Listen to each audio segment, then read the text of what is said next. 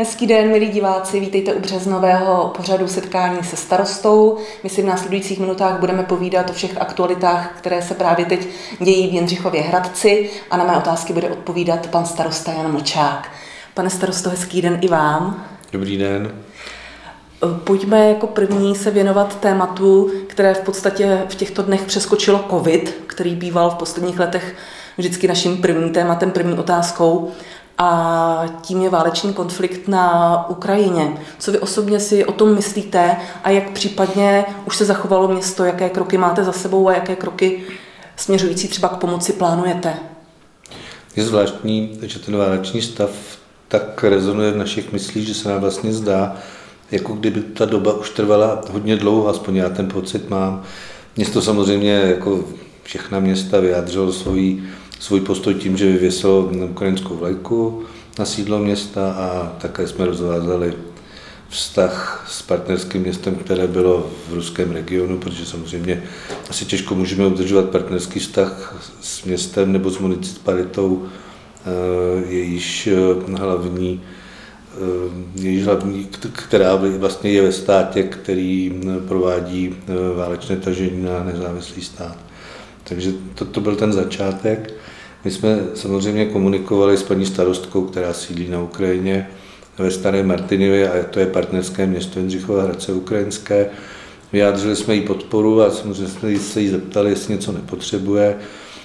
Ona nám napsala cílený seznam toho, co by potřebovala, včetně postelí, e, jednorázového nádobí, baterek, e, spacáků.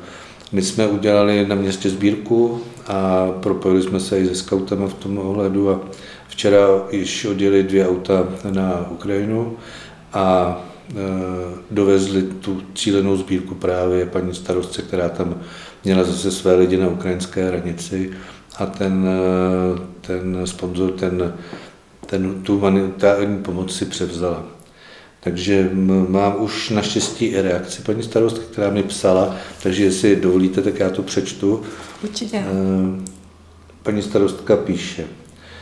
Vážený pane starosto, milé město, vyjadřujeme vám obrovská bezmezná slova díků za poskytnutou humanitární pomoc našemu regionu. Eh, velké díky patří klukům řidičům, kteří dokázali dovést zboží na hranice a dokázali rychle zorganizovat vykládku vozidel.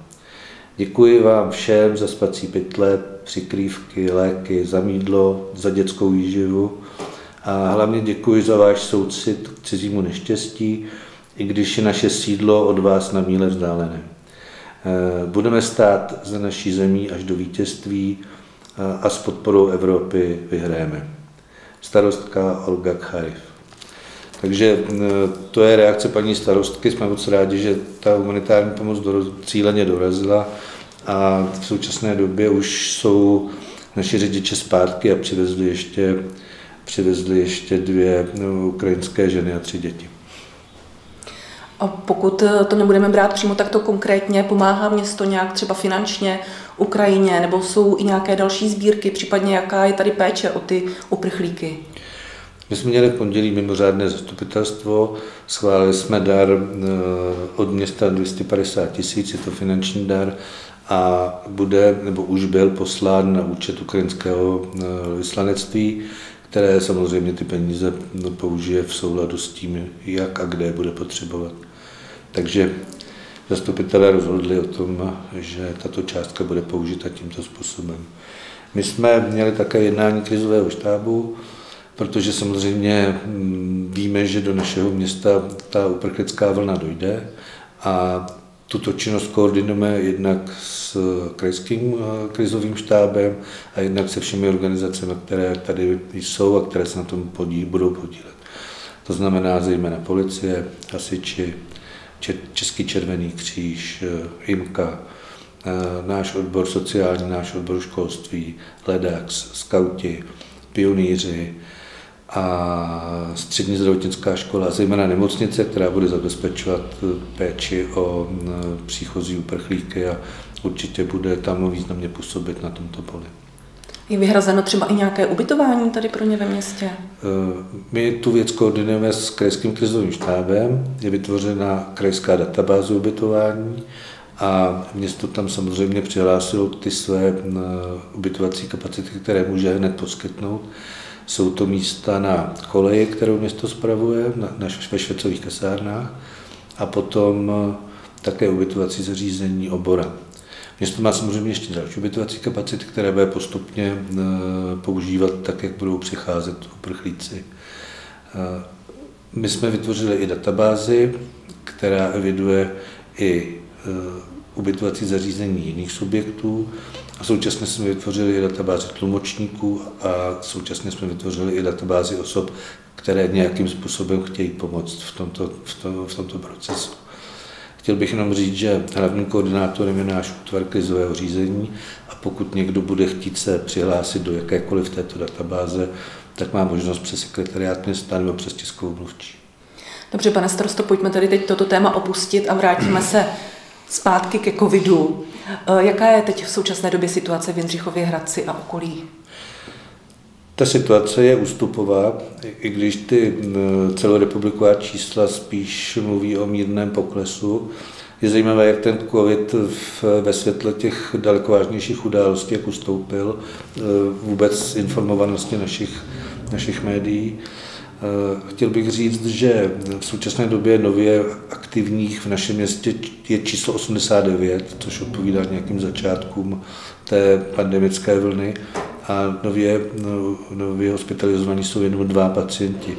Eh, jsme rádi, že situace v nemocnici je klidná, že mm, COVID už nezasahuje do ostatních činností, už je tam braný jako určitá součást, ale nemocnice jede rutinní provoz a nějaký to neomezuje eh, v záležitostech operativy a tak dále. Eh, chtěl bych jenom říct, že ta současná varianta Omikron je sice jakoby na průběh mírnější, ale zároveň je potřeba, aby nebyla podceňována, aby ti, kdo to dostanou, aby si dávali pozor, protože přináší některé nepříjemné následky potom v té dolečovací době.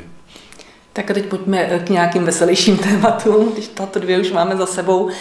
E, teď už je březen, v únoru jsme se dočkali takového krásného magického data 22.2.2022. Spousta párů si toto datum vybralo e, k uzavření sňatku. Jak to bylo v Jindřichově Hradci? No, Jindřichov Hradec má odávací den pátek a to základní místo je Stará radnice. A pokud někdo zvolí pátek a Starou radnici, tak e, ten obřad má zadarmo. Pokud zvolí jiné místo a jiný den, tak se tam platí poplatek tisíc korun. V tomto případě naše matrikářky vyšly těm párům vstříc a bylo jich pět a došlo k jejich odání eh, tak, aby měli zaznamenáno v odacím listě právě toto magické datum a eh, prostě jsme jim vyhověli, aby pokud si to přáli, tak samozřejmě proč ne. Tak teď se budeme chvilku věnovat zase investičním věcem.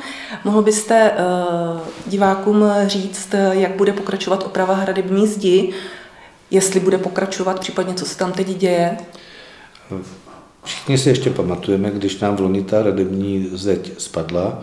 Uh, my jsme pověřili firmu Stavy Service v té době, aby tu havárii odstranila, což se také stalo a protože je potřeba, aby jsme předešli nějakému případnému dalšímu excesu, tak jsme zadali zakázku firmě Stavy Service, která se velice osvědčila a měla by za částku zhruba 650 tisíc eh, měla by tu, to dílo dokončit, tu, tu naší část té stavby, aby už tam v budoucnosti k něčemu takovému nedošlo a zároveň, aby ta hradební zeď vypadala hezky i z hlediska památkového a z hlediska historického a aby byla v podstatě součástí toho koloritu našeho města.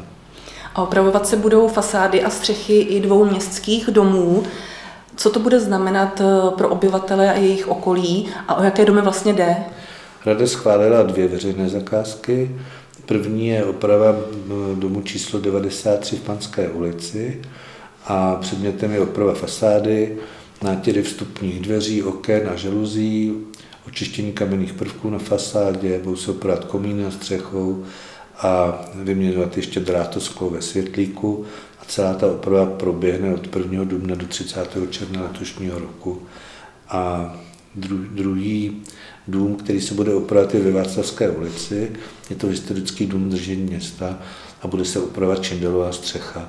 Takže i tam jsme našli adresáta po výběrovém řízení, firmu, která nám to opraví v termínu, v kterém je pro město přijatelný.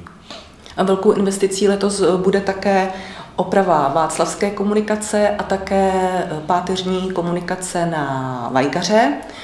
Jaká je situace tam? Už je to vysoutěžené? Obě akce jsou vysoutěžené. My jsme samozřejmě chtěli, aby se opravovaly ty zásadní a základní komunikace, protože nejsou v dobrém stavu. Co se týká Václavské ulice, tak je to čtvrtá etapa. Je to komplexní oprava, to znamená, že se bude dělat úplně nová dešťová kanalizace, bude se opravovat splašková kanalizace, budou se pokládat kabely pro, pro eh, optický kabel městský a samozřejmě se přiměřeně budou opravovat i chodníky a bude se renovovat i veřejné osvětlení, které souvisí s tou vozovkou. Ta vozovka se bude opravovat od ulice Československých legií až po ulici Natočně. Komplikací je samozřejmě, že v té ulici jsou eh, významné provozní objekty, je tam samoobsluha pana Karáska, je tam AV, takže tam budeme muset domluvit režim, aby tyto prodejny a, ta provozovna aby nezanikly a nabídne jim samozřejmě nějaké řešení. Co se týká druhé záležitosti, tak eh, je to páteřní komunikace na sídlišti Vajgar, je to druhá etapa. Technicky je jednodušší, protože půjde jen o obrus té vrstvy, ale samozřejmě se budou opravovat také věci, které s tou silnicí souvisí a je to potřeba eh, nějaké drobné záležitosti, které souvisí s konstrukční vrstvou a, a budou se samozřejmě opravovat kryty stávajících křižovatek a tak dále. A e, tato, tato záležitost bude realizována také v letošním roce. Vysoutěžila i firma Světelsky a to za částku 9,8 milionů korun.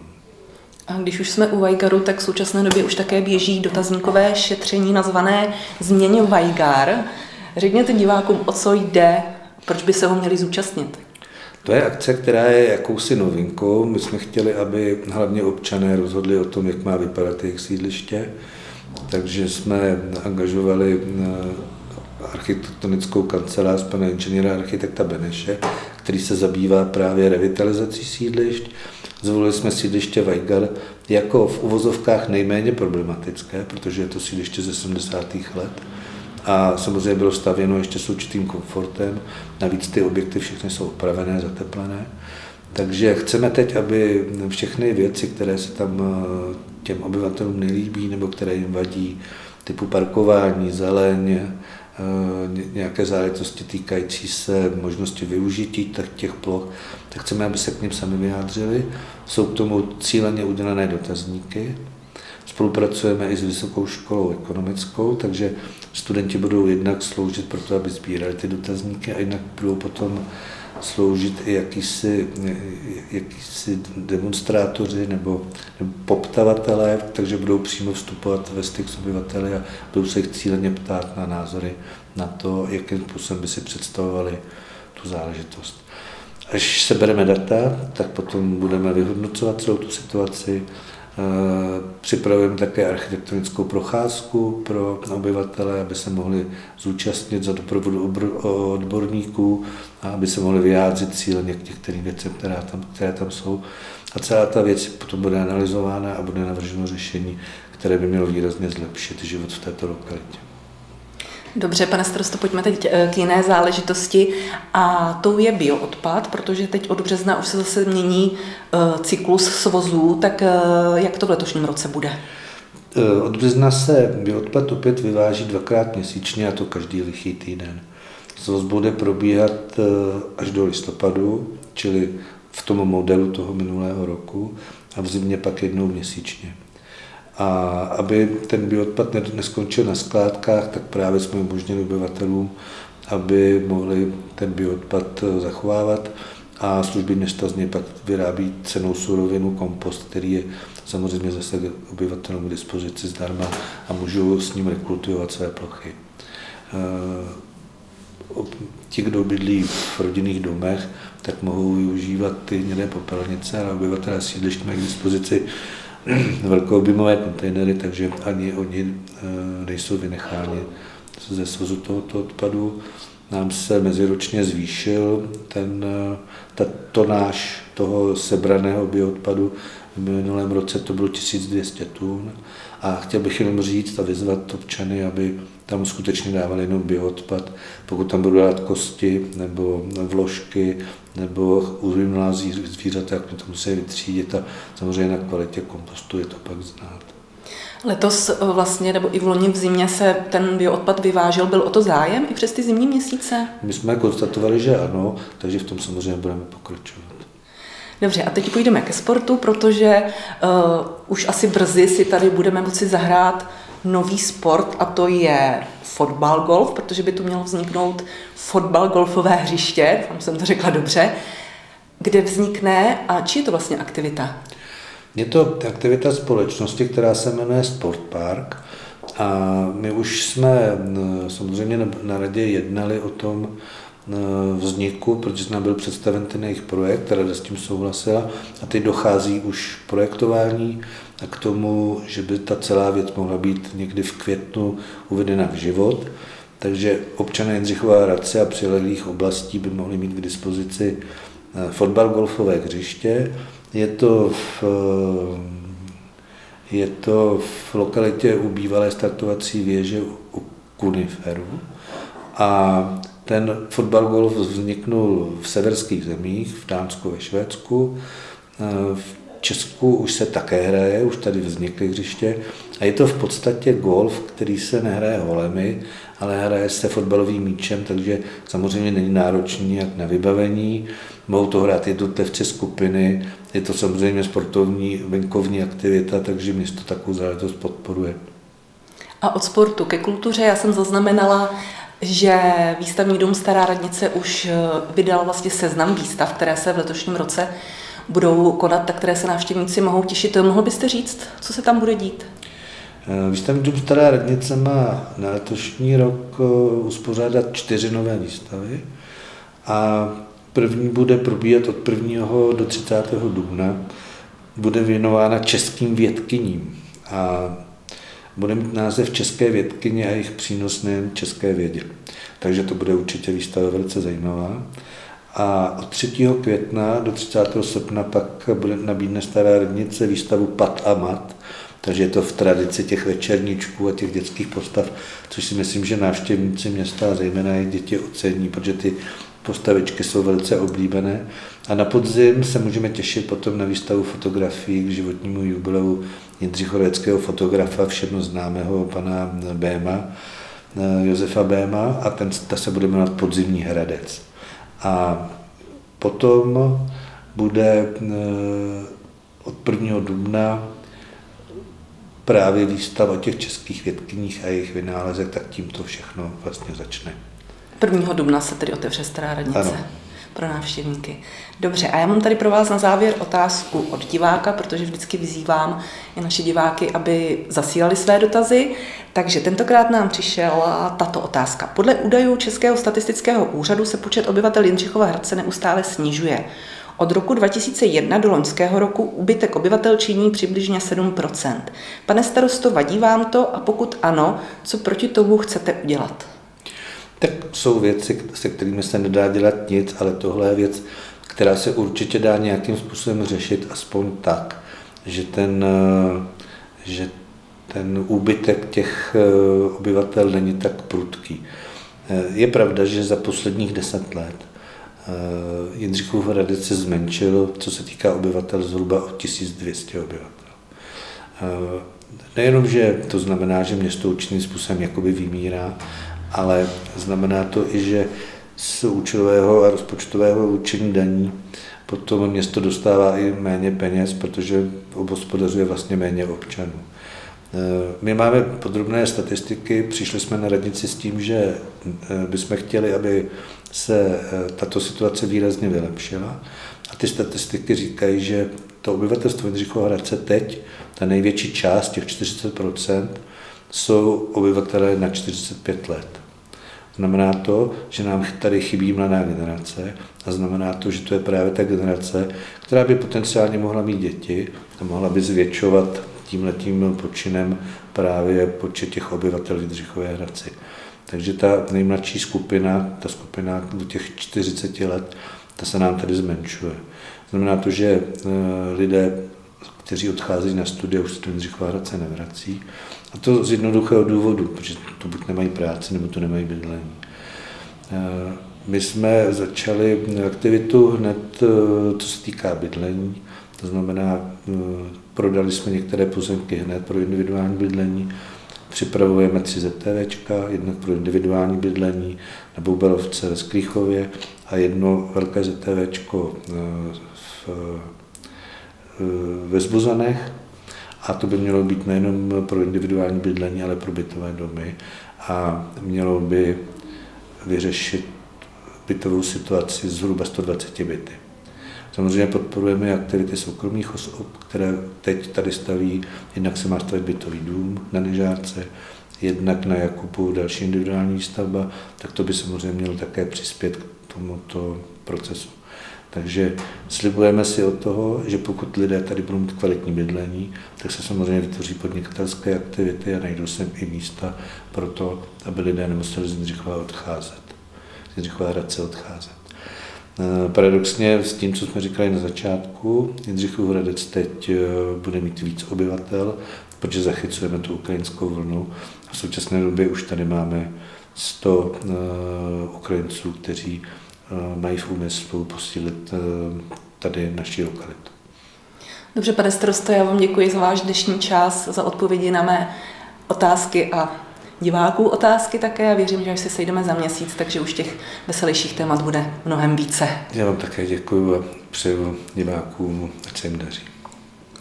Milí diváci, vám také děkuji za pozornost. Budu se těšit zase za měsíc na setkání se starostou a jak jste slyšeli, i vy si můžete pana starosty zeptat na cokoliv, co vás zajímá. Stačí, když svou otázku zašlete na e-mail jhtv.cz. Přeji hezký den.